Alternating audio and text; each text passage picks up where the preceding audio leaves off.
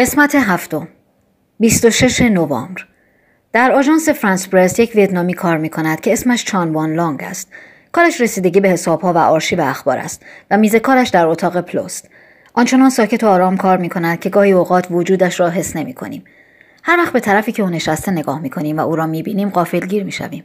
مثل اینکه انتظار نداریم کسی آنجا نشسته باشد. هرگز از جایش بلند نمی شود هرگز حرف نمی زند و فقط و فقط با انگشتان بلند و کشیدهش قلمی را توی دوات فرو می برد و می نویسد.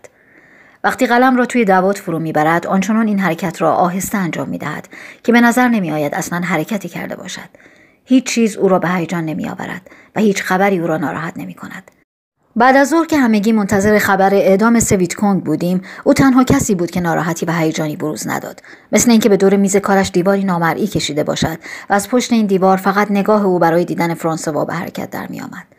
همیشه سعی می‌کرد نگاهش را از ما پنهان کند. چهره خشک و غیر قابل نفوذ داشت و لاغر و زرد رنگ بود. سنش را هم نمی‌توانستی حدس بزنی. تنها رابط او با دنیای آنجا فرانسوا بود. و اگر احیانا دهانش را برای حرفی باز می کرد همیشه مخاطبش فرانسوا بود و از لحن حرف زدنشان می‌شد فهمید که تفاهم عجیبی با یکدیگر دارند و فرانسوا که همیشه خشن و با شدت حرف می‌زد هنگام صحبت با او صدایش آرام و به زمزمه محبت آمیز تبدیل می‌شد. صدای او اغلب حس نمی‌شد و اگر هم حس می‌شد به جیک جیک یک پرنده شاد میمانست. او و فرانسوا همدیگر را آقای پلو و آقای لانگ خطاب می‌کردند. از وقتی که فهمیدم آقای لانگ یک مومیایی نیست و انسان زنده است به او کنجکاو شدم. برای شروع بگویم که او سه زن دارد. سه زن حد اکثری است که در مذهب بودایی می‌توان تحول کرد. هر سه را تا حد پرستش دوست دارد ولی فعلا با سومی زندگی می کند. ایام عید را با هر سه زنش در خانه زن اولش میگذراند و وقتی بخواهد یکی از دوستانش را به نهار دعوت کند او را به خانه زن دومش می‌برد. هر سه زن با کمک یکدیگر نهار را درست می کنند و توافق و تفاهم کاملی بین آنها حکم فرماست. به خاطر بیشخصیتی و یا احساس حقارت نیست که آنچنان سکوت می کند او از اجتماع و مردم خیلی هم خوشش می آید پلو به من گفت تو باید تا به حال متوجه شده باشی که او هرگز به در ورودی پشت نمی کند و از لای چشم های نیمه بستش رفت و آمد کسانی را که به این اتاق می آیند زیر نظر دارد. نه فرانسوا تا به حال متوجه این موضوع نشده بودم. من از او می خواهم که با تو صحبت کند. و امروز صبح آقای لانگ با صدای جیک جیک مانندش با من حرف زد و بالاخره متوجه شدم که از لای چشم های نیم بستش تمام رفت آمدها را زیر نظر دارد و گوشهایش به کوچکترین صداها و حرفها تیز می شود. شما چه فکر می کنید و منتظر چه واقعی هستید آقای لانگ؟ منتظرم که دوباره بازداشتم کنند خانم. مگه تا به حال بازداشت شدید آقای لانگ؟ او بله خانم. و قضیه رو برایم تعریف کرد. یک ویتکونگ بمبی توی بار یک رستوران انداخته بود و پلیس های ژنرال تمام محله را به دنبال او میگشتند تا بالاخره شخصی را دستگیر کردند که در واقع از این قضیه به کلی بیخبر بود. پلیس ها به بازجویی اهالی محل پرداختند. اون مردو می‌شناسی؟ ها؟ میشناسیش؟ و آقای لانگ برای اینکه بتواند به کمکی به بیگناهی آن مرد بکند به سؤال پلیس ها جواب مثبت داده بود با شنیدن جواب مثبت او پلیس ها هم او را دستگیر کردند و برای بازجویی و سوالات بیشتر به زندان مرکز شهر بردند و در یک سلول زندانی کردند و یک ماه تمام او را به دست فراموشی سپردند. این اتفاق اغلب در هر آشوبی پیش می آید تو را زندانی می کنند و بعد فراموشت می کنند فقط وقتی که همسر سوم لانگ برای درخواست کمک به فرانسوا رجوع کرد و فرانسوا نزد کاپیتان فام کانتون رفت تازه آنها متوجه شدند که او را فراموش کرده بودند. و خیلی برایم جالب بود خانم. چون وقتی خواستند مرا بازجویی کنند مرا به اتاقی بردند که دیوار به دیوار اتاق کاپیتان تان بود و درست همان وقتی که مرا به آن اتاق بردند آقای پلو هم برای صحبت درباره آزادی من نزد کاپیتان آمده بود و من تمام حرفهای اونها را شنیدم البته آقای پلو این موضوع رو نمی‌داند و آنها شما را آزاد کردن؟ بله همان وقت مرا آزاد کردن خب پس چرا فکر می‌کنید که باز شما را بازداشت خواهند کرد؟ برای اینکه همیشه رسم اینجوری بوده. اگر یک بار بازداشتتون کنن دیگه در چشم اونها یک محکوم هستید. اینطور فکر کنیم که روزی کاپیتان تان از اینکه به درخواست آقای پلو گوش کرده پشیمان شود و فکر کند کار اشتباهی کرده که اجازه داده من آزاد شوم. آن وقت دوباره مرا بازداشت خواهد کرد. خانم من در جنگ با فرانسوی ها هم بودم ولی آمریکایی ها را دوست ندارم. شما از اونا متنفرید؟ بله خانم تمام این کارا زیر سر آمریکایی است موقع حکومت ژنرال دیم آنها هنوز پایشان به اینجا باز نشده بود. اوضاع این قطرها هم بد نبود. می‌دونید مثلا با پنج پیاستر می‌تونستیم غذا بخوریم ولی حالا با دو هزار پیاستر هم خوردن یه غذای حسابی غیر ممکنه. زمان حکومت دیم پیدا کردن مسکن کار مشکلی نبود. ولی حالا یه خونه کثیف را تازه اگر ویتنامی باشی به زور اجاره میدن. بهترین خونه ها در اشغال امریکایی است سبزی های تازه را فقط آمریکایی ها می‌توانند بخورند چون با سندیکای سبزی فروشان قرارداد بستند که فقط سبزی ها به اونها اختصاص پیدا کنند. می‌دونستید پیدا کردن توت فرنگی این روزا در سایگون غیر ممکن شده؟ چون آمریکایی‌ها توت فرنگی خیلی دوست دارن و همه این محصولان به خودشون اختصاص دادن. می‌خوام بگم که تمام وضع اقتصادی ما به هم خورده. به این معنی که یه راننده ریکشا چهل هزار پیاستر در ماه درآمد داره در حالی که یه مهندس فقط ده هزار پیاستر درآمد داره. بازار سیاه بازار عادی رو تحت تاثیر قرار داده. مثلا آنتیبیوتیک رو از داروخانه نمی‌تونی بخری. چون پیدا نمیشه. برای خریدش باید به بازار دزدها مراجعه کنی. به دزدایی باید مراجعه کنی که یونیفرم آمریکایی پوشیدن و مسلح به هفتیر آمریکایی هستند نفرت شما آقای لانگ از چنین چیزهایی سرچشمه می‌گیره؟ نه. فقط از این چیزا نیست. چیزای دیگه هم هست خانم. او صدایش را آهسته کرد. نگاهی به طرف در ورودی انداخت و گفت برای اینکه اینا آدمایی هستند که نمی‌تونن وجود دشمن رو قبول داشته باشن. اونها ما رو وحشی غیر متمدن و ابله می‌خونن و از هر فرصتی استفاده می‌کنن تا ما رو پست و حقیر بشمرن. آدمای خیلی خودخواهی هستن. می‌دونید دنیا هنوز آمریکایی ها رو آدمای زمان جنگ جهانی دوم می‌دونه. دنیا فکر می‌کنه که اونا هنوز همون بچه های بیگناه و بیورزه اون زمان هستن. در حالی که در ویتنام اونا به هیچ وجه شباهتی با آمریکایی های زمان جنگ دوم ندارن. اونا بیرحم شدن. باید اونها رو وقتی که دهکده ای رو تخلیه می‌کنن تماشا کنید تا بفهمید من چی میگم. اونا با یه عده کره سنگدل به دهکده میرن و با بلنگو به اهالی ده اینطور دستور میدن. در مدت سی تا 45 دقیقه دهکده رو تخلیه کنید و سوار کامیون ها بشید. ما می‌خواهیم دهکده رو آتیش بزنیم. در سی یا 45 دقیقه انتظار دارید اونها چیکار بکنن. اهالی دهکده فورا به جمعآوری اسبابهایشون می‌پردازن ولی کره به اونها مهلت نمیدن و اونها رو با لگد و فشار قنداقه تفنگ به جلو میرونن. بچه ها فریاد می‌زنن و زنها گریه می‌کنن. در دهکده ها احترام به مردگان و مراسم عزاداری خیلی اهمیت داره و هرگز محرابی رو که وقف مردگانه بدون شم روشن نمی‌گذارن. و اغلب وقتی کامیونا آماده رفتن هستن یه نفر از اونا پایین میاد و با عجله به محراب میره تا شم رو روشن کنه. و هنگامی که او مشغول روشن کردن شمعه کره ها او رو با چند تیر مسلسل از پای در میارن و هنگامی که شعله های آتش دهکده رو فرا می‌گیره چندین نش این طرف و اون طرف دهکده افتاده که با اسلحه کره ها کشته شدن خب جنگ همینه آقای لانگ. نه این جنگ نیست. این تزویر و ریای آمریکایی است که بعدا خودشون رو بیگناه جلوه میدن. آمریکایی‌ها خیلی خوب می‌دونن که کره چه می‌کنن اما به رویشون نمیارن می‌دونید برای بازجویی و اعتراف گرفتن از زندانیا دو زندانی رو سوار بالگرد می‌کنن. یکی از اون دو رو با تناب از بالگرد در فضا آویزان می‌کنن و وقتی او شروع به داد و فریاد و التماس می‌کند تناب را قطع می‌کنند و زندانی دیگر که شاهد این ماجرا بوده برای اینکه به سرنوشت رفیقش دچار نشود هر چرا که می‌داند اعتراف می‌کند و وقتی خوب تمام اعترافاتش را بروز داد او را هم از بالگرد به پایین پرتاب می‌کند. ولی ویتکونکا هم آدمای چندان ملایمی نیستن آقای لانگ. البته که نیستن. مگه شما هنگام جنگ با آلمانا ملایم بودید؟ من قبلا آدم بدجنسی نبودم ولی بعد از اینکه زندانیم کردن بدجنس شدم. روز و شب در زندان صدای هموطنانم رو میشنیدم که از درد و عذاب شکنجه ها فریاد می‌زدن. می‌فهمید؟ تمام روز و تمام شب. و می‌دونید عکس العمل من چی بود؟ ناراحت می‌شدم. اما نه برای اونا بلکه برای خودم. هر لحظه با خودم فکر می‌کردم که الان میان و من رو هم برای شکنجه می‌برند. و بعد به این فکر میافتادم که بالاخره روزی هم اوضاع برعکس خواهد شد. فکر نمی کنید اونها فکرشون رو عوض کنن؟ نمی‌دونم. ما دیگه ناامید شدیم چون قدرتی برامون باقی نمونده. مثل افلیچ ها شدیم. می‌دونید چرا در سایگون دیگر خرابکاری و سوء قصد نمی شود چون همه جا پر است از جاسوس و خبرچین. هر کسی می‌تواند جاسوس باشد. همسرتان برادرتان و حتی پسرتان. من یه پسر 18 ساله دارم. او را به مدرسه شبانه روزی فرستادم تا دور از این آشوب و هیاهو باشد. ولی بعد از مدتی از من خواست که به سایگون برگردد تا آشوبها و تغییر و تحولات را به چشم خود ببیند و در مبارزات شرکت کند. در آن موقع ترس عجیبی به من دست داد. ترس از پسرتون؟ او سرش را پایین انداخت و گریه را سر داد. اشکهای درشتش روی دستهایش فرو افتادند و بعد دوباره به سکوت همیشگیش برگشت و از آن به بعد دیگر برایم حرف نزد. 29 نوامبر. کاش می‌تونستم به تمام قلبهای این شهر راهی پیدا کنم. کاش می‌تونستم زندگی تمام مردم اینجا رو بدونم. کاش جواب چراهای این شهر رو می‌دونستم.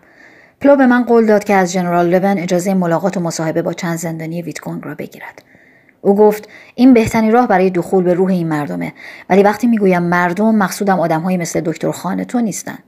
بلکه از مردم سالمی نظیر آقای لانگ خودم حرف می‌زنم. شاید فردا اجازه ملاقات بدهند. راستی بگذارید چیزی درباره پلو برایتون بگویم. مورولدو به من گفت که در کتاب معروف عشق چیز باشکوهی است نوشته هانسوین از شخصی به نام فرانسیس پرن نام برده شده و فکر می کند که آن شخص فرانسوا پلوی خودمان باشد. در سال 1950 او در هنگ کنگ خبرنگار بوده و بعد برای خبرگیری از جنگ کره به آنجا رفته و هانسوین و مارک الیوت رو در آنجا ملاقات کرده. من کتاب هانسوین رو پیدا کردم و آن رو ورق می‌زدم تا شاید نام او را آنجا پیدا کنم.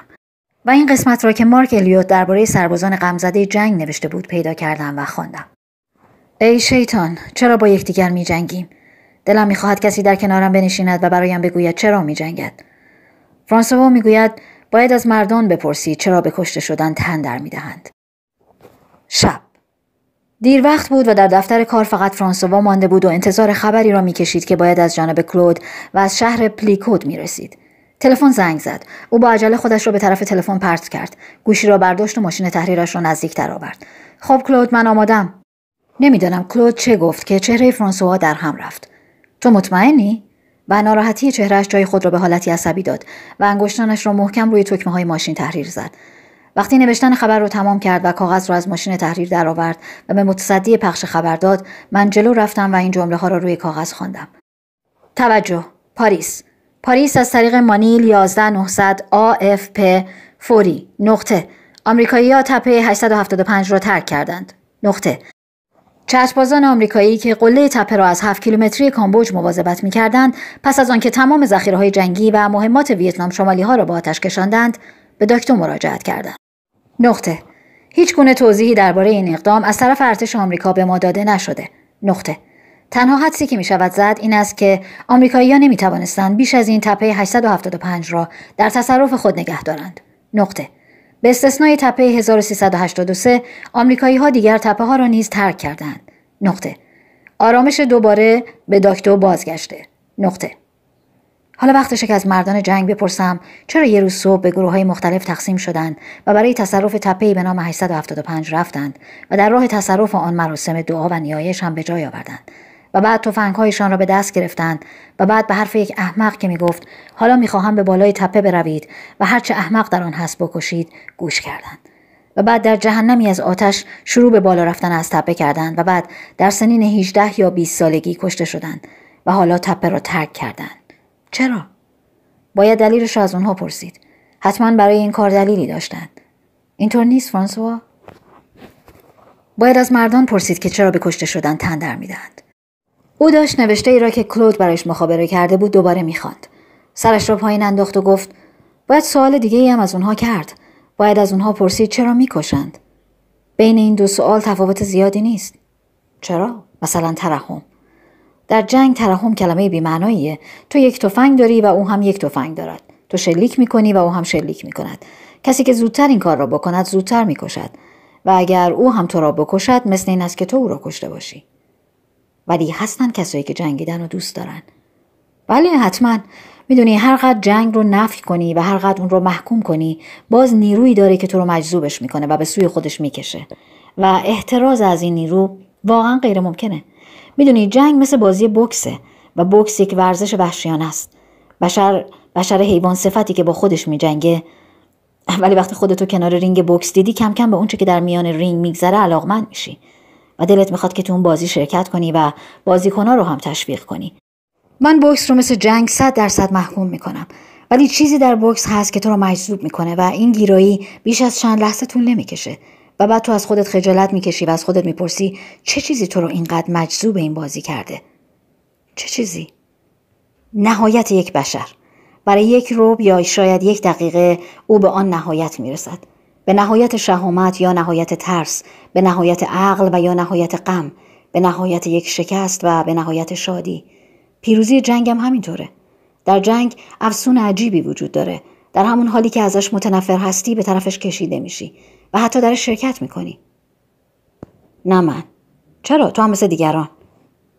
وقتی سربازا برای تصرف تپه دوازده ساعت یا 24 ساعت و یا دو هفته با ترس و لرز در میان آتش پیشروی می‌کنند بهترین موقع است برای شناخت زندگی یک مرد و در همون وقتی که می‌توان میزان قدرت او را در برابر شجاعت، ترس، عقل و تحمل او را در برابر رنج شناخت. فرانسوا خودش رو روی یک صندلی انداخت و پاهایش را روی میز دراز کرد. گهگاه به سوی ماشین خبر برمیگشت و آن را نگاه می‌کرد. ماشین خبر برای آنکه رابطه با مانیل قطع نشود دائم به روی نوار پیغام مکرری را مینوشت. آمریکایی‌ها تپه 875 را ترک کردند. آمریکایی‌ها تپه 875 را ترک کردند. کاملا واضحه که تماشای احمقهایی که می‌کشند و کشته می‌شوند کار ناهنجاریه و کاملا واضحه که باید برای این ماجرا گریه کرد. بسیار برایم اتفاق افتاده که با دیدن جنگ گریسته باشم.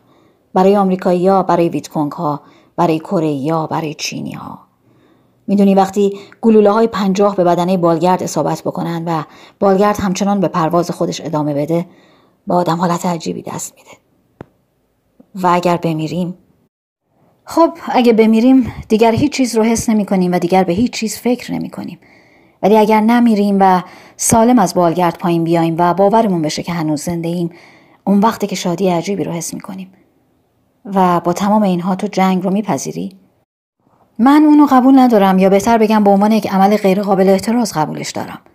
می‌دونی هرگز تمدنی وجود نداشته که بتونه جنگ رو از بین ببره. به عنوان مثال آخرین تمدن رو در نظر بیاریم. تمدن بسیار معروفی رو که تمدن مسیحیت نام داره. تمدنی که بر روی عشق استوار شده.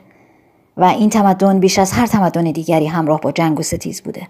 به نام مسیح کشیشها پرچمها و افراد جنگجو را دعا می‌کردند.